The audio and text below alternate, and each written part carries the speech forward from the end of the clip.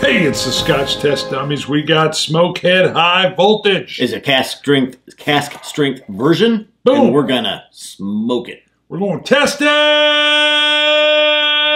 with all kinds of skulls, baby. That's Almost. what they do. Punisher style. Dang, I like it.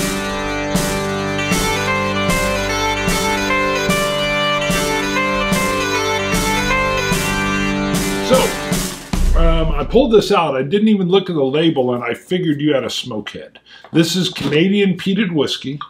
I like their regular offering. They do Well- throw skulls and scary stuff all over. It's not Canadian. It's not Canadian. No, I thought it it's- was Canadian. It, the first bottle that we got, I think the liquor store bought in Canada. This Really? is this is uh, it's it's from Scotland. Oh, It's a Islay single malt Scotch whiskey. wow. Yeah, distilled and bottled in Scotland. I, th- I think it's just the first bottling the liquor store where we, where we got it. You're right, because it was a got it in hundred milliliter bottle or something, wasn't it? It was something weird about it. I thought it was full, regular sized. I don't think it was one point seven five. It was, and it wasn't And- seven fifty. Now that you say that, we I ought to check remember. because even the if if we did a video with it years ago, we might have said it's from Canada. We might have. I think But- we did. So this is a high voltage Mm. smokehead. It's a cask strength version. Hmm. Uh, and I thought it just until now when I looked and saw Islay single malt, I thought this was a blend.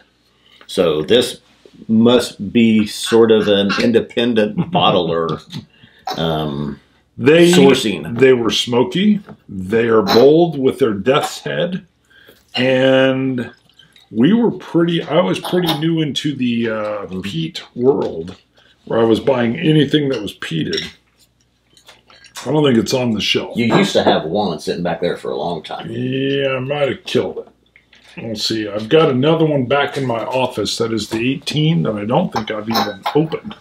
I love the Death's Head, but it can feel a little bit nationalistic. so, Um, did you do Ian Ma- Ian Macleod Distillers Limited? wow, it smells good. It's got Uh, clay. deeply rich, intensely peaty, this whiskey hits all the senses with a rush of black smoke, creamy, nutty notes, and a tangy sea salt finish. Hmm. Distinctive, full on, and definitely not for the timid. Ooh, not for the timid. I It get says it. Yeah, I it's right there on the label. Not for the timid. It says it.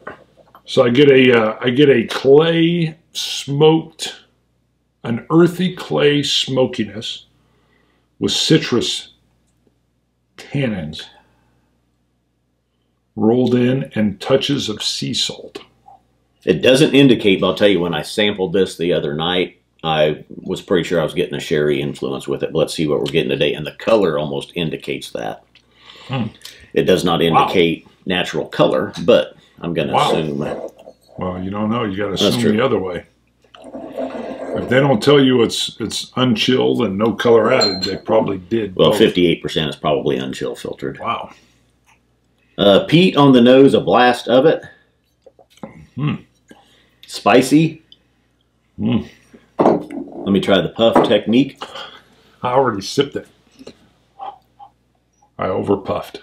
that was a that was a, a maximum puffing. Um, Oh, earthy, yeah, earthy campfire yeah. peat. With touches of mint Yeah.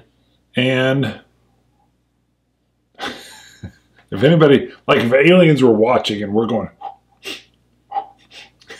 it looks weird. Just saying. Black, spicy black tea. Okay. I could see that. Hmm.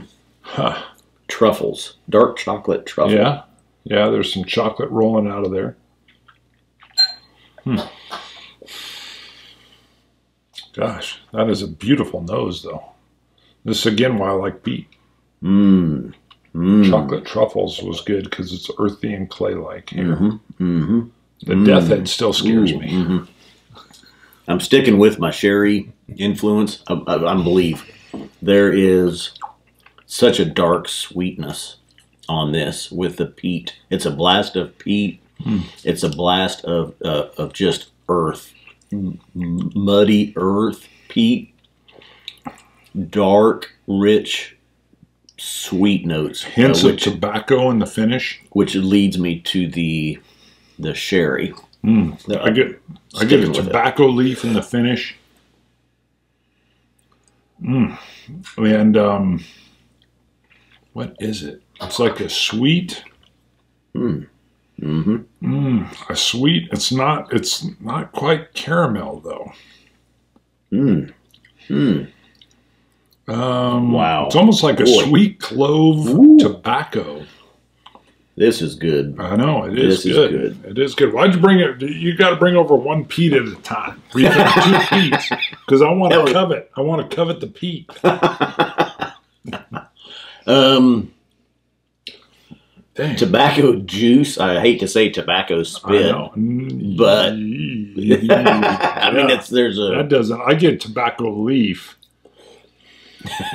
not that I want to drink tobacco. There was a No, I different note there. I wouldn't want that. Don't you get a little leaf though? Because I get a yeah, little like yeah, uh, tobacco.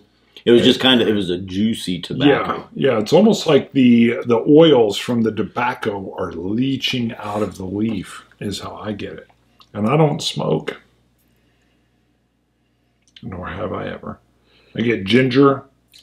It almost reminds me there was like the blackjack gum, but there was a ginger gum. Uh, and I can't remember what it was called, and it kind of reminds me of that ginger flavor and nose. This doesn't come off as fifty eight percent at all. You would It- think fifty eight. It's gonna Yeah. sock you in the It, mouth. it doesn't. Wow, that is a great. Very nice. Wow. Hmm. Smokehead. Yeah, it's an. You think it's an independent bottler? Mhm. Distilled and bottled in Scotland. Hmm. They're doing some good stuff. Do you know a distillery named Smokehead?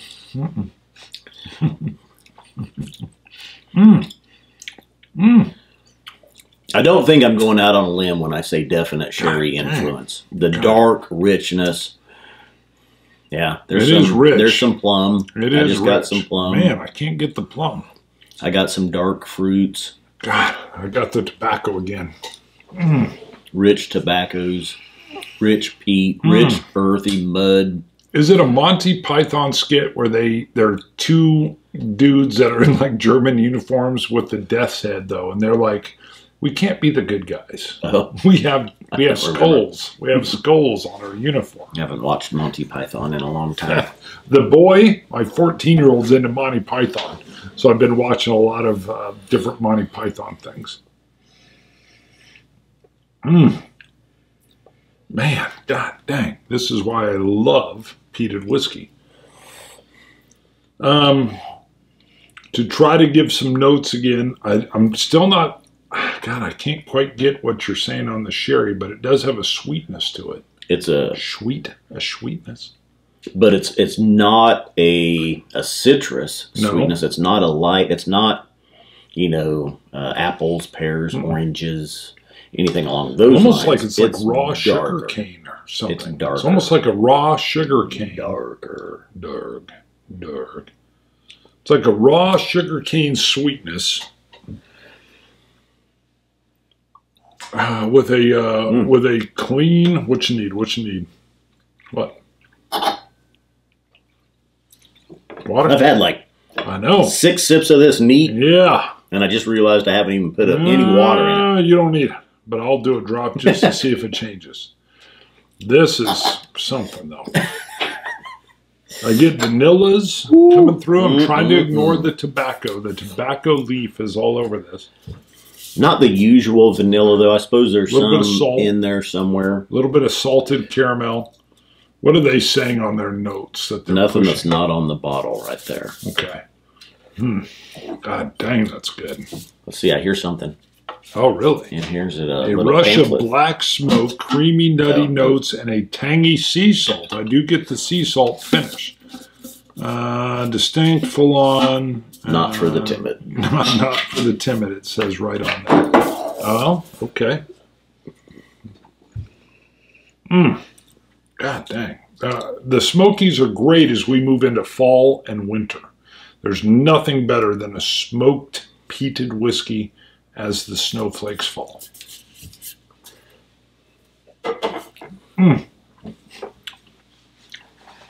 I got my score ready. God dang. 92.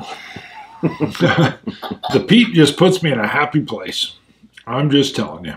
God, it just, it's unmistakable. It stakes its flag in the ground and it says, Here I am. Come out, peat me. A drop of water helped this. I don't know. Even at neat, both. it's very good.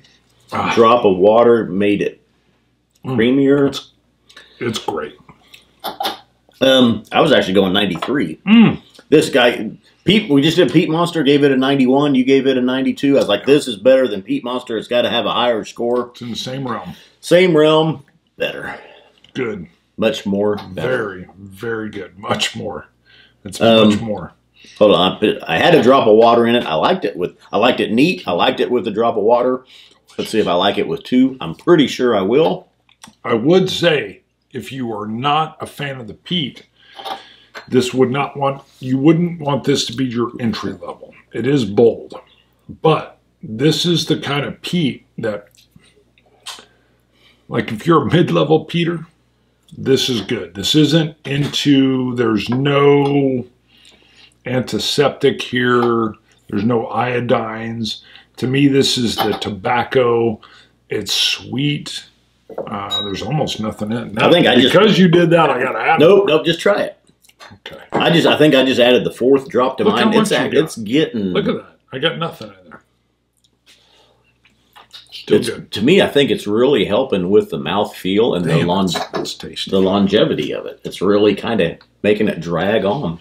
It helped some of those tannins grab on. will linger. One of the best things about any peated dram is in between the sips.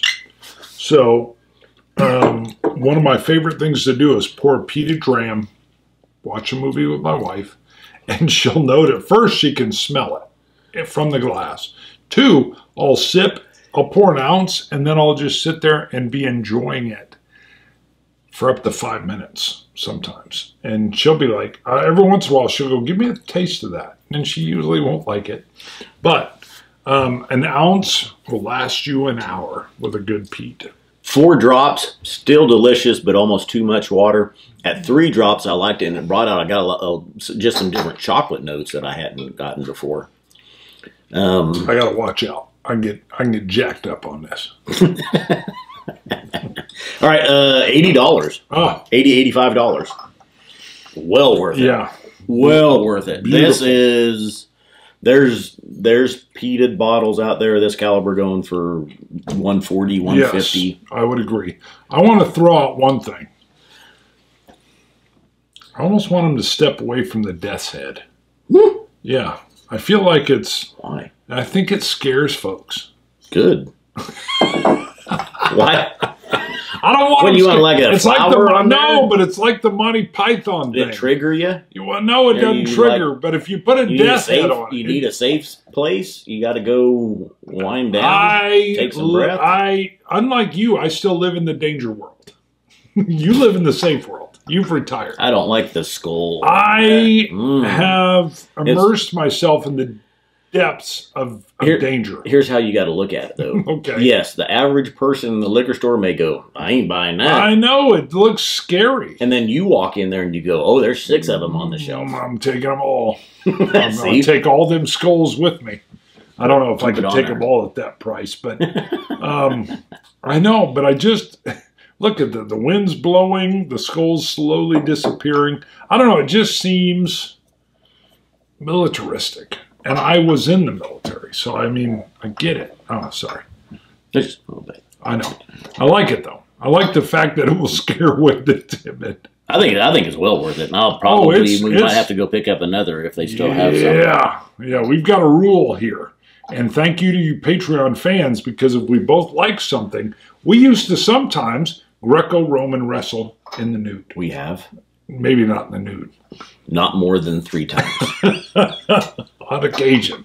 All right. And when we both like something, it was always a struggle on, eh, who gets to keep We- it? so I was thinking it was just this morning that we need what was our? It was like a um. We needed a, a phrase for it, a word for it, for like the, a bottle that makes it into our you know must have list. And I can't. I'm gonna have to think now what that was. Could I it mean, it's be like an scrum- award. It was like a medal, Scrumdiddlyicious. something. Oh. No, it was not Sorry, that's- scrumdiddlyicious. I just wanted to use scrum, like we could have a scrum, like a fight. um, So scrumdiddlyicious was not your thought. is that from the old Walt Disney uh, movie with the Chitty Chitty Bang Bang? Scrumdiddlyicious? Yeah. And I, I would not know that, but I loved as a child. We would watch Chitty Chitty Chitty, Chitty Bang Bang Bang. Yeah. the, the whole song there is, is is I couldn't sing it, but it's in my memory. Um, Scrumdiddlyicious. I do like it. You know what I saw recently though is that they were in that movie, weren't they? Um, weren't they, or wasn't he a chimney sweep? Yes. And there was some deal that the coal on them, they were trying to modernize it, that they were actually, well, we won't even go into it. Go look at this scandal. I just got like a, we haven't said it, cigarette ash uh, with four drops of water. It's down. It's a little lower than I like it. I liked it uh, at a higher ABV. Four drops was too much, but I did just get some. Smell that. That's un, Just untainted. try that with the I haven't four put drops. any water in it at all. Let me go back. So you got watered down. I got neat. That's good. Mhm. Even with water, that's good. And I pick up more Yeah, but- caramels in yeah. there with the water. It's It is better. softer. Yeah. Much more. Here better. it's punchy. Neat. Much more better. That's how you open. Let's wrap it. Yes. Sorry, we could go all day. Um, Did we, we did. Yeah, we scored it. It's worth it. scotch it. You scotch gods. So huncha. Dummies. Scrumdiddlyicious.